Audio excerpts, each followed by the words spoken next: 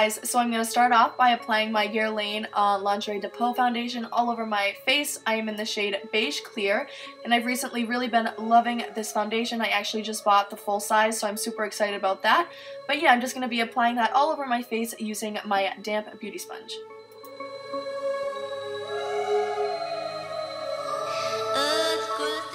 Set my foundation, I'm going to be using my Bare Minerals Original SPF Powder Foundation, and I am in the shade Medium Beige, and I really love using this as a um, setting powder because I feel like it gives you a little bit of extra coverage, which is great. For my concealer, I'm actually going to first uh, use this red Revlon um, lipstick, which is kind of weird, but it's been a new thing lately, um, and it's supposed to really get rid of all like the darkness on your dark circles. So I tried it out for the first time in this video, and I actually really like the results I got.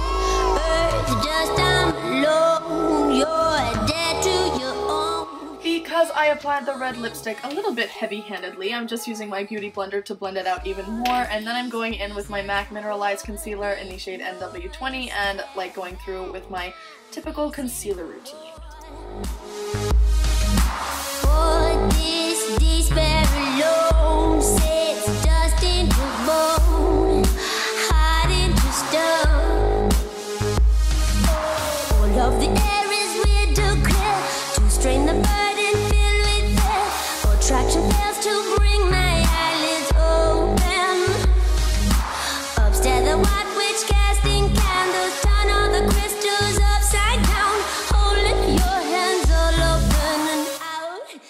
I wanted a little bit more coverage on my eyes, so I just went in with my NARS Radiant Creamy Concealer, and I believe that this is in the shade Custard.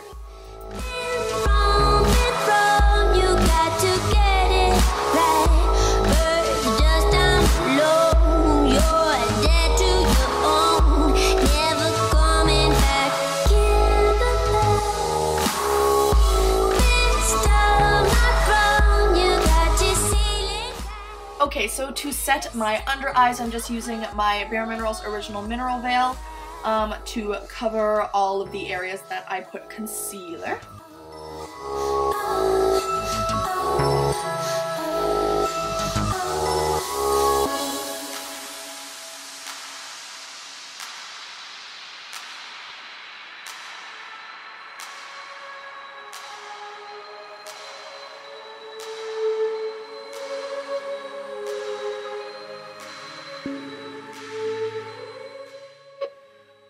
Eyebrows, I'm just first combing through them using this spoolie brush by um, Anastasia Beverly Hills, and then in a second you will see that I go in with my Anastasia Beverly Hills Dip Brow Pomade, and I am in the shade Dark Brown, and I just use a small like angled brush just to shape them and apply the product.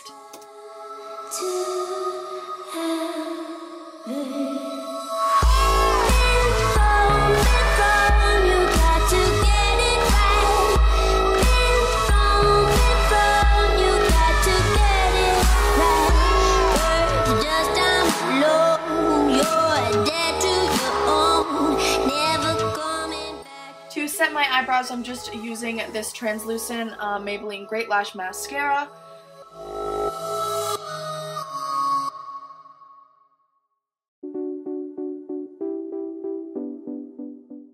Moving on to eyeshadow, I'm going to take the shade Noble from the Kat Von D Mi Vida Loca palette, and I'm just going to blend it all over like the upper part of my eye and into my crease. Then I'm going to be taking the shade Rewind, also from the Mi Vida Loca palette, and just blending that into the crease and also mixing it in with the shade that we just put on.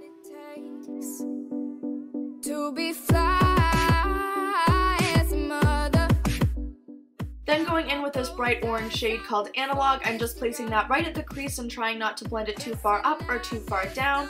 And then I'm going in with a blending brush and just keeping it right at the crease just to blend out any harsh lines that may have been there.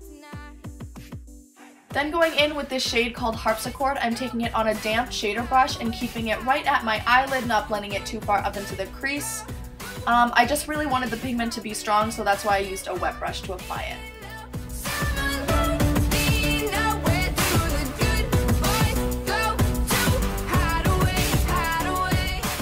Going back with the shade Rewind and taking it on the same blending brush from before and blending it all over like the eye just to get rid of any harsh lines and everything like that. And then I'm going in with this Urban Decay Stargazer eyeshadow and I'm also applying that with a damp brush that I wet with Fix Plus and placing it right on the center of my eyelid just to add some more sparkle and just like a nice highlight to the center of the lid.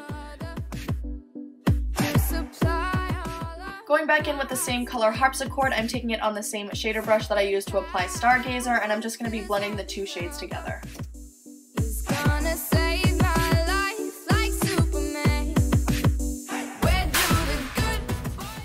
Going back again with the same blender brush, I'm just going to be blending the whole look together to get rid of any harsh lines. And then because I wanted it to be even deeper, I took the shade Rewind on the same blending brush and just blended it even more into the crease and on my eye. And then I went back in with a short shader brush using the shade Rewind again and I just blended it into my lower lash line. And then using this tiny pencil brush, I'm taking the shade um, Harpsichord and blending it into the shade Rewind on my lower lash line. For eyeliner, I'm using my Kat Von D Tattoo Liner in the shade Trooper, and I'm just creating a um, wing, and I'm also going to be bringing that wing down into the lower lash line, as you will see in a second. But I'm just doing my basic eyeliner, and then just making it more dramatic by bringing it into the lower lash line.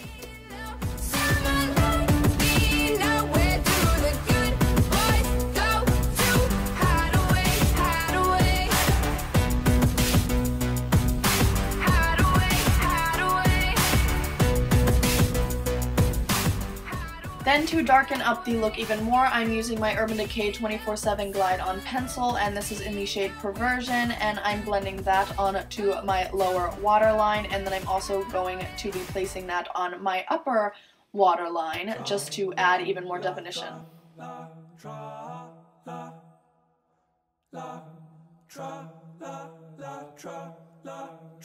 For mascara, I'm using my brand new favorite trio, and I'm first just going to go in with my Sephora Outrageous Curl Mascara. And then after that, I'm going to go in with my Le Volume de Chanel mascara, and then to set all that, I'm going to be using my Maybelline Lash Sensational Mascara in the waterproof formula.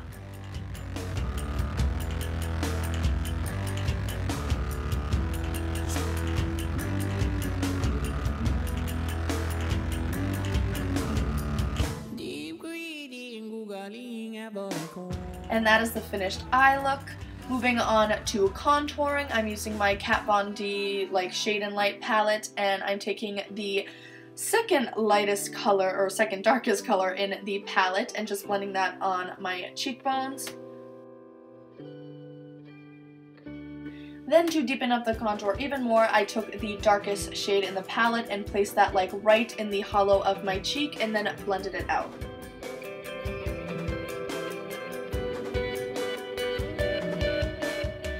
Then to sculpt my non-existent jawline, I just took the two shades that I use for contouring and just shaped my jawline and then added it to the temples of my cheeks also. To contour my nose, I'm taking this short little like uh, pencil blending brush thing and I'm just blending the second darkest color in the Shade and Light palette onto my nose. Of all the men, the cue to be the next. For highlight, I'm going in with my Becca Shimmering Skin Perfector in the shade Opal and applying that to the tops of my cheekbones, on my nose, and on my cupid's bow.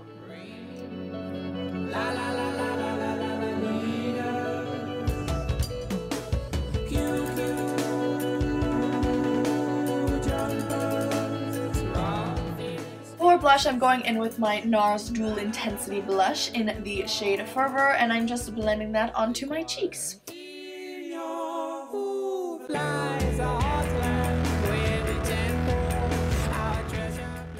Moving on to lips, I'm using my MAC lip pencil in the shade Chicory and just lining my lips.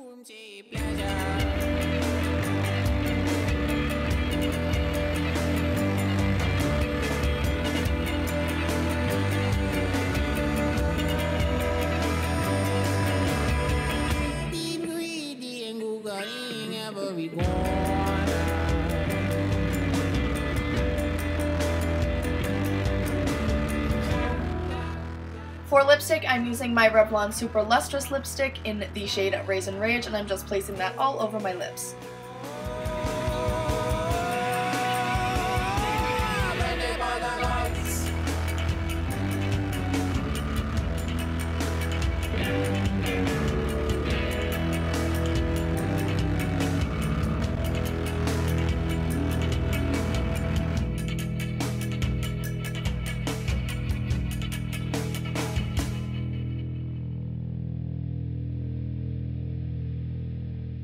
So guys, this is the finished look. I really hope you enjoyed watching this video. If you did, please give it a thumbs up and please don't forget to subscribe and I'll see you guys in my next video. Bye!